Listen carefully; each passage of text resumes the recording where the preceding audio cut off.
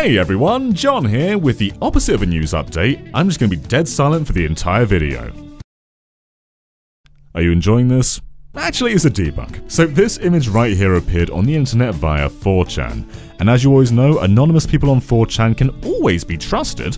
And with this image, they posted the following.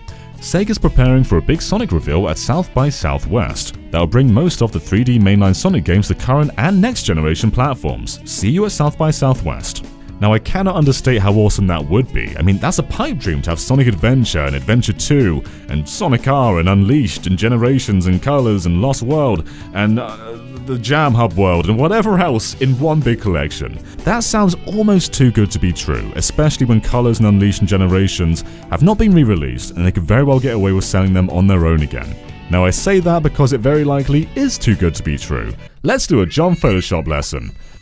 So first and foremost, it's very weird to have the logo clearly at the top of the screen here, but cut it off, almost like they're trying to hide it. But that's not the only thing. This 3 here is very suspect. So we've gone over a lot of Sega's uses of the number 3 in Sonic promotional material, and they very rarely use them.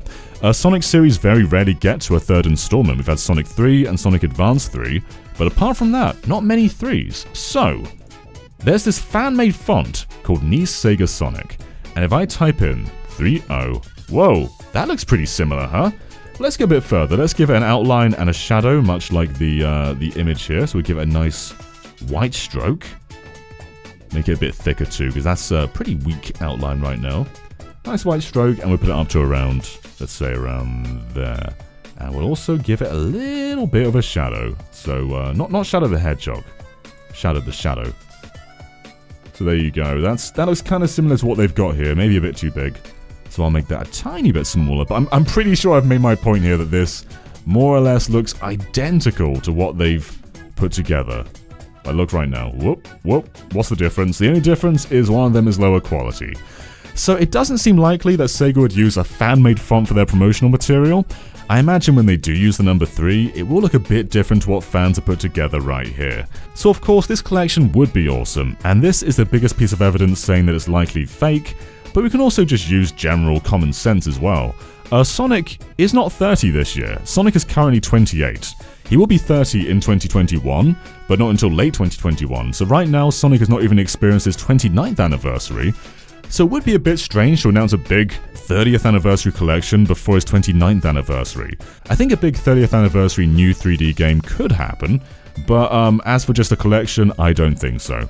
And also, this art doesn't really reflect the 3D entries. I mean, this pose right here for Classic Sonic is straight from Sonic Mania's intro.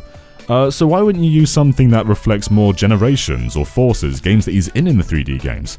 And uh, even like Sonic and Tails' poses, they don't really showcase these games at all.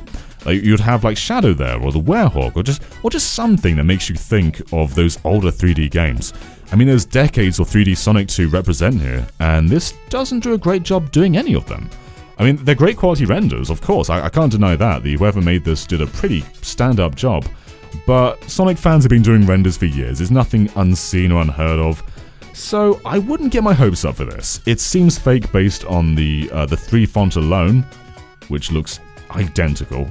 but also, it, the concept itself just doesn't make a whole lot of sense. If Sega were to re-release Colors, for instance, Colors would first need a HD treatment, a remaster, and I think they could easily sell Colors for $40, $50 on its own, and it would make bank. That's one of the most popular 3D games, never been re-released, they could easily get away doing that again. So yeah, this just doesn't seem to make a whole lot of sense. It would be awesome, but I don't think so.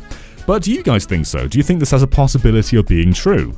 Let us know down below, and of course, be sure to subscribe to GameXplain for a lot more on Sonic, including South by Southwest next month, and every month, as Sega promised on the 20th of every month, new Sonic details will be revealed. So stay tuned until now, until the end of the year. until next time everyone, see you later, bye.